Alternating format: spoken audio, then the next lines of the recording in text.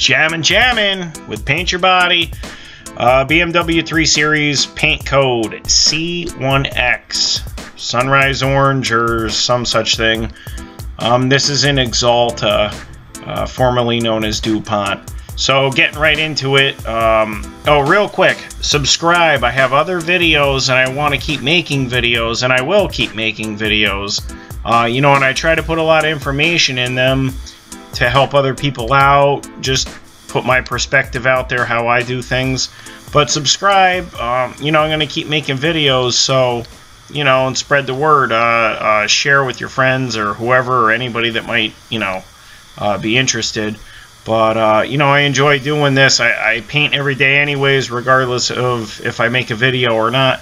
So it just would motivate me to continue, um, you know, maybe make more videos, whatever. So just subscribe. I, would appreciate that. But, all right, so jumping into this, um, it's a 29, I think it's a 2019 BMW. I painted this car about a month ago.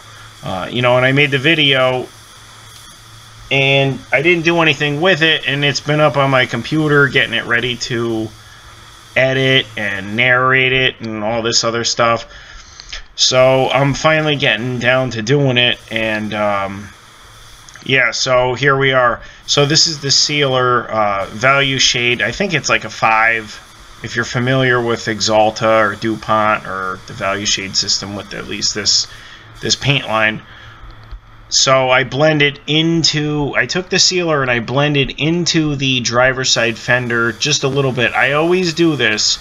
Uh, you know, I've seen people that don't do that. Uh, they'll just uh, seal the areas that they need to, blend the base coat into the blend panel, and I've seen them have good luck with it. I've done it like that and had good luck with it.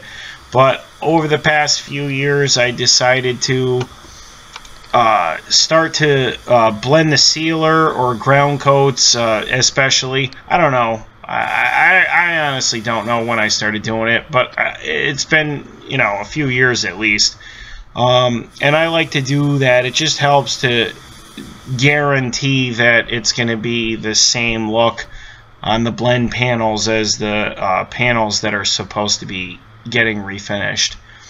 So the sealer just wrapped that up. You can see now it's completely flashed off.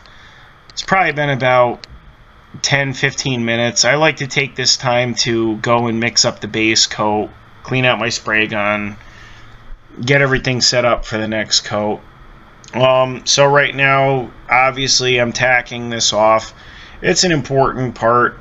Uh, I say in my other videos, you want to make sure you're tacking these off uh, pretty thoroughly because, you know, in between coats or walking in and out of the spray booth, anything, you're bound to have a piece of dirt or a few or a lot uh, land on the panel and you want to make sure you get that off. So give it a quick tack. It's you know, it's important. Just do it. It'll it'll make your jobs look better. All right, so this is the first coat of base that we're going to hammer down here. Um, you know, check the gun settings. There we go. Little spray pattern thing there. Okay. All right. Yeah, we're looking pretty good. It's nice and even. This is the Tekna ProLite. I've used uh, this gun in pretty much all the videos, actually every single video. I've been using this gun now for two years, I'd say. I love it. I really, there's nothing about it that I would critique or change. I use the 1.4 with the high efficiency. Um, I think the air pressures are different, and honestly, once we get later in the video, I, I, you know, with the clear coat gun, I'd like to just kind of address a little bit on the air pressure with that, which is almost astounding because uh, a lot of people like to use a higher air pressure um, and I've used a high air pressure before as well, but we'll, we'll get to that. We'll cross that bridge when we get to it. Uh, but right now, this is the base coat, solvent base coat with Axalta Chroma Premier. It's an activated base coat, so it's been reduced um, and activated. Everything's mixed on the scale uh, on the computer program, which um, the shop that I worked at before, the computer wasn't hooked up to the scale. It was a a little bit more old school, the style of uh, mixing and this and that. But same good results and everything was fine. Um, you know, I am enjoying using the computer uh, with the scale hooked up to it. It's nothing new, but for me it is, so I'm enjoying it. And, um, you know, it's nice. But if you don't have that, or you're in a shop or a scenario or a situation where you don't have that, doesn't matter. You could still get an awesome job without it. It's just a luxury. So, uh, like I said, if you have it, awesome, cool. If you don't, doesn't matter. You could still get a really good job out of uh, out of the spray booth, out of mixing the paint, doing everything, um, you know, in a different way. So, uh, all right. So the bumper already blended the color on the uh, driver's side fender. Um, the bumper's covered pretty pretty quickly. This color seems to be covering very quickly, especially over this value shade or this uh, sealer ground coat pretty uh, pleased with how this is spraying. And I, I, feel like I'm moving pretty quick with this, too. Uh, it's going on really, really well. So, just going to kind of keep on going with it. Blending into the rear door. And just keep in mind, you want to you don't want to drag that blend out too far. Uh, you know, it's important not to go too, too far with that. You never want to end your blend in the same place uh, you can do that. I know people that have done that and probably still do that. Um, back in your days, I went to a trade school to learn about a lot of this. Um, you know, I went for auto body in a high school, a trade school. It was a high school. Um, and, you know, one of the first things that I learned as far as blending or painting was you, you never want to cut the blend off or end the blend in the same spot.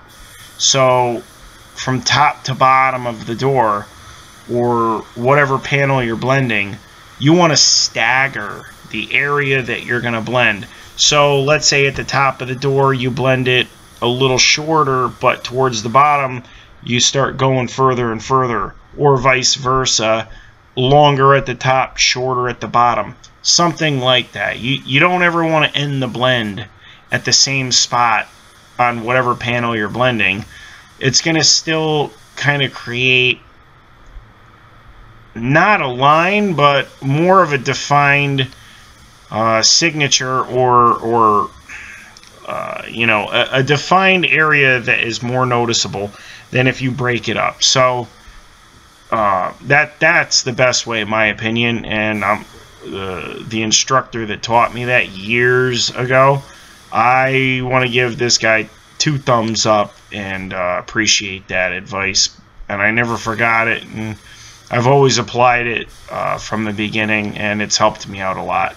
And um, you know, to kind of piggyback on that, if you get good advice, stick with the good advice. It will help you more than you'll ever know.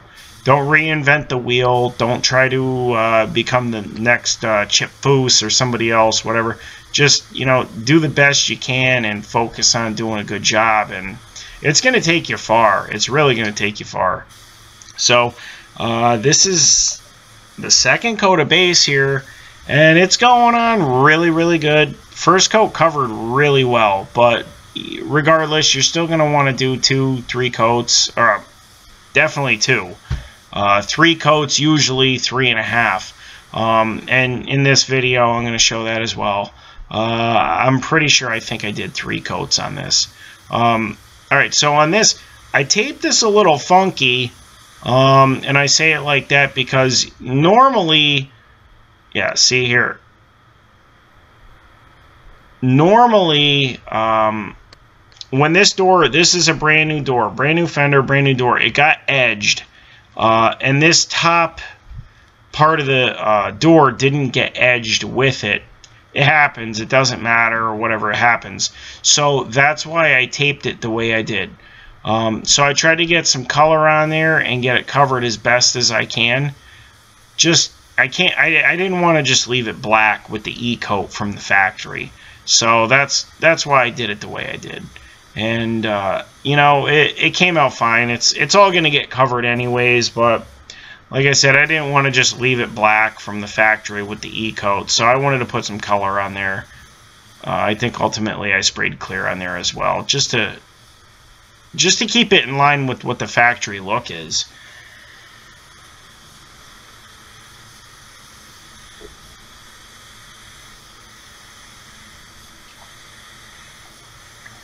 All right, and if you notice now, like I said, don't end the blend in the same spot on the door or the same area. I'm dragging out the bottom. The lower I go on that door, the more I'm dragging out that blend.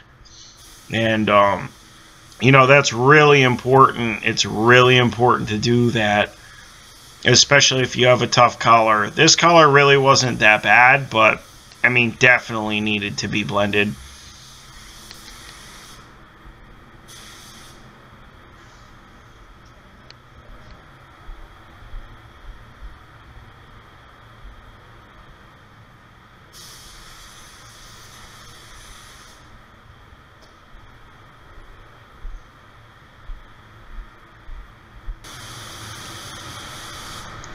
Third coat of base here. I believe this is the final coat of base.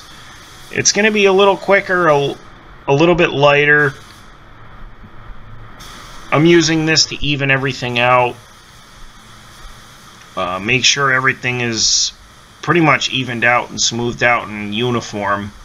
And by uniform, I mean um, the same way across the entire paint job it's easy if you if you're putting the base coat on wet like I did in the first coat definitely. The second coat um, if I left it like that and cleared it it might look good but there's a good chance that there's areas that are gonna look uh, noticeable or they're gonna show or wow the guy whoever painted this car sprayed it really wet over here or well, why does the base coat or the uh, the pearl or the metallic look different over here but over here it looks you know just uh, you got to follow up once you get your coverage. This is also this is definitely once I get my coverage.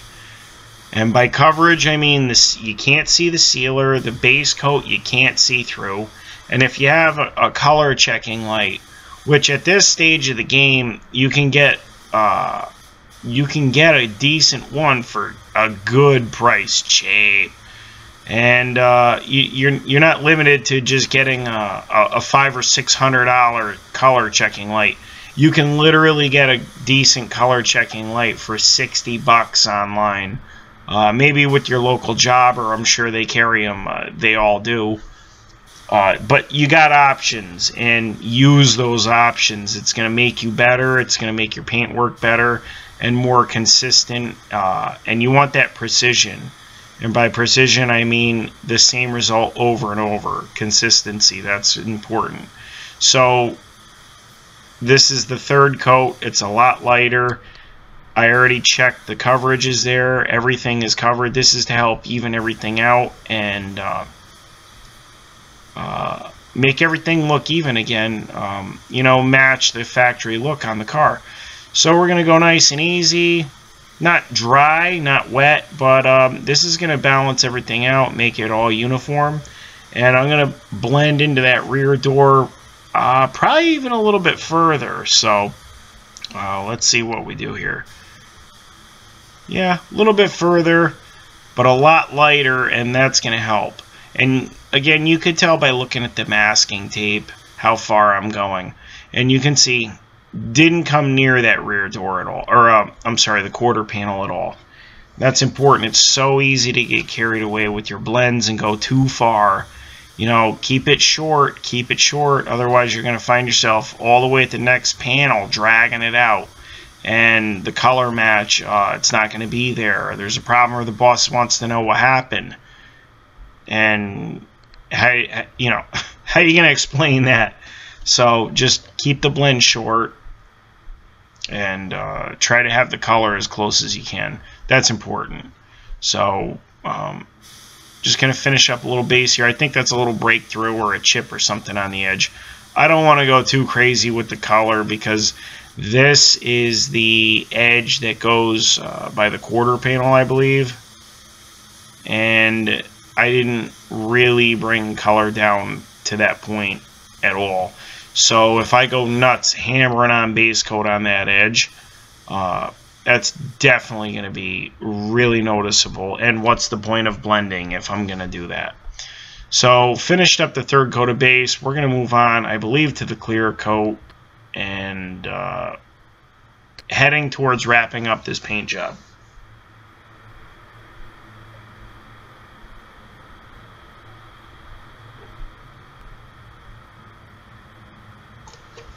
Say hi to my buddies, my co-workers, wanted to check out what I got going on and what I'm doing. So, little shout out to them. Love you guys.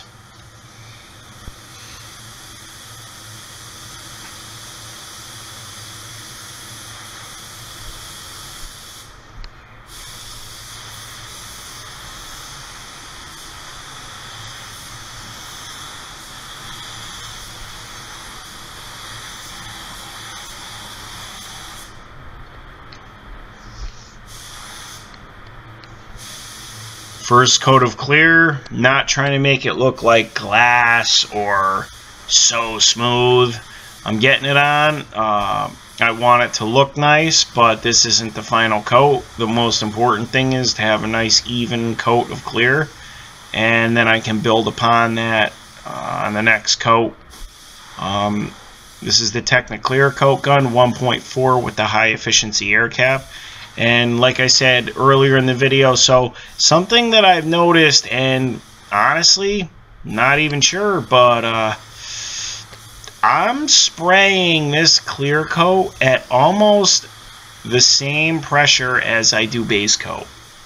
And I'm doing this by the sound and how it actually lays out on the panel. And what I found is the higher the pressure, this is even with a 1.4. Now this clear isn't very thick. This is, uh, geez, what is this, 7900S, something like that. This is, I, I got to look into that, but uh, we're using all DuPont or Axalta straight across the line. No aftermarket clear or product or anything. Um, but the, the clear, it's not very thick, so it's not a super thick clear. So, you know, maybe that, that could have something to do with it. But what I've found is with this spray gun, uh, the high flow fittings, um, I mean, everything where it needs to be, I get the best results, at least with how I spray, with a lower pressure. And I think that I'm around like 23, 22 psi spraying clear coat and um, that's that's pretty low especially considering people are spraying normally 25 26 and higher. Uh, this is what works and it's working. Um, you know and I guess maybe once you get better or more used to things or whatever but you could check it by how it sounds even and just the sound of how I'm setting the gun I'll pull the trigger and I hear the air atomizing that clear coat and the sound of it is different. So the higher you crank it, the air pressure, the higher you go, it'll sound different.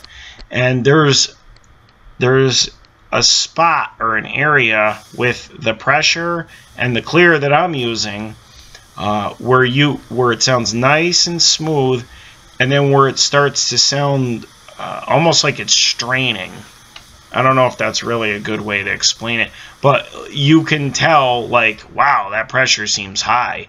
And you, I dial it back a little, and it's a nice, even, shh, nice and even. Um, and it, it sounds natural, like that. Wow, that sounds good. That's how it's supposed to sound, like nice and nice and easy. And when I get to that spot or that point with the pressure and with this clear, it sprays beautiful. I I don't understand. Whatever, that's how it works. Usually, like I said, with clear, you spray it a little bit higher of pressure. Um, but I'm spraying about base coat pressure a little bit higher and it sprays awesome. So that's how I've been doing it.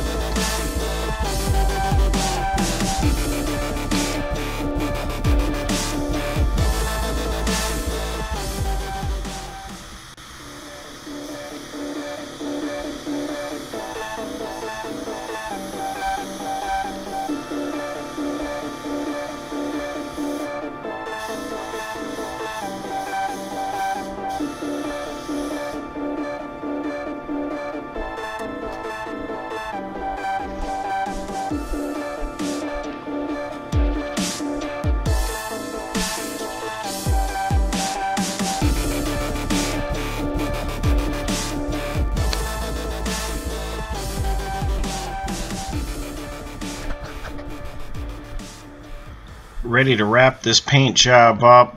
Right now, this is the clear coat blender. I'm going to blend this post.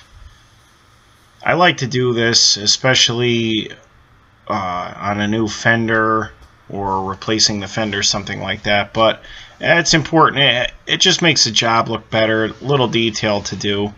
Uh, but wrapping this job up, uh, three coats of base, two coats of clear, and it's looking good. It's looking sharp. So thanks for watching.